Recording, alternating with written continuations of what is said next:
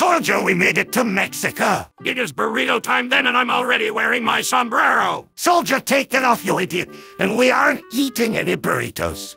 We have a job to do. Okay, fine. What are we here for again? We are here to find an ancient spell that supposedly can resurrect the dead. So I can kill commies twice then? Yep, by the way, we think it's located in this area. Question. What's your question, soldier? I have found the spell and accidentally resurrected a zombie horde.